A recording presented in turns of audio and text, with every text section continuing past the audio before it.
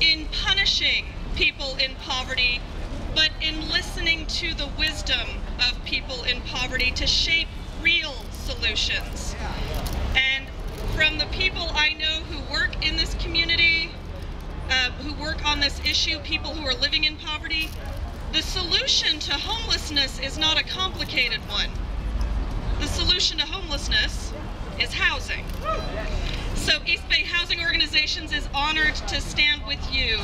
So let us join together in a moment of invocation. God of all of us and God who values those of us in poverty above all others, we are grateful for your presence with us now and throughout this night as we stand with you, as we stand with your vision of a world where all are housed and where no one is punished for what a system of economic oppression has created for them.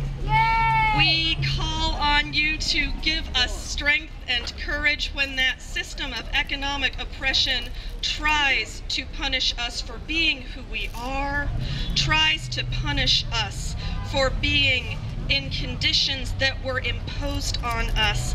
We ask you, God, to strengthen us to make sure that every person in Berkeley might be transformed and converted to your will for a city where all are housed with dignity. This we ask in your ever blessing, ever blessed name. Amen.